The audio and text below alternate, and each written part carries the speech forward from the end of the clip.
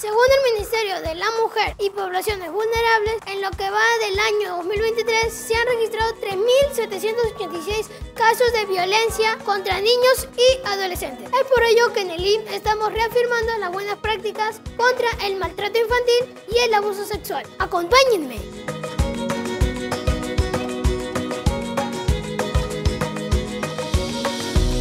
El buen trato sabemos, James, que es una herramienta muy poderosa para poder afrontar esta situación tan difícil que pasan muchos niños en el Perú y en el mundo, que es el maltrato y el abuso sexual. Recuerda que el buen trato, no solamente como herramienta, es un ayudador muy, muy especial y protector de la salud mental, sino que también ayuda a los niños a que pueda desarrollarse una convivencia saludable. Hola Misael, ¿de qué trata tu cartel? Del abuso sexual. Hay adultos que, puedes, por ejemplo, tú puedes subir a un autobús y luego te puedes estar haciendo tocamiento eh, y eso está mal. No solo duelen los golpes. Mi folleto trata sobre los cuatro tipos de abusos que existen en, lo- en el maltrato infantil, que es el abuso sexual, el abuso psicológico, físico y emocional.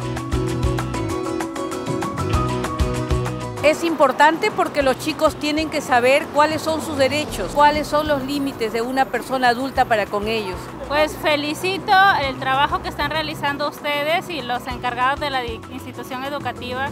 Nos dirigimos a los salones de primaria con nuestros compañeros de secundaria para poder repartir folletos contra el abuso infantil. Buenos días alumnos, hoy mi salón y yo vamos a hablar sobre el maltrato infantil.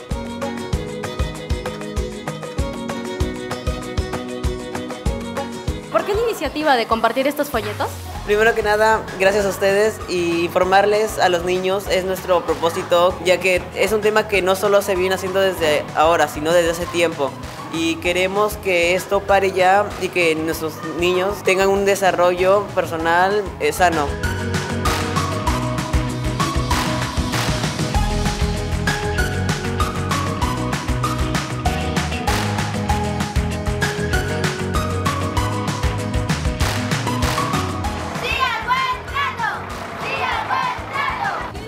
Trata tu cartel?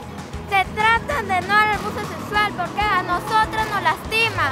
No al abuso sexual, no al abuso sexual, no al abuso sexual.